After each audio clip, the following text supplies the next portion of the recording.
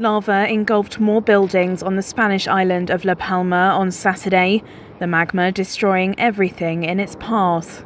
The red hot volcano eruption swallowed at least four buildings in the village of Callejon de la Gata, according to Reuters witnesses.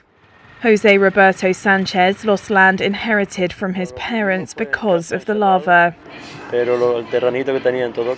land I had in Todoque is all gone. Yes, the memories of my parents, the inheritance I had there, it's all gone. De mis padres. Una herencia que tenía allí me la llevó.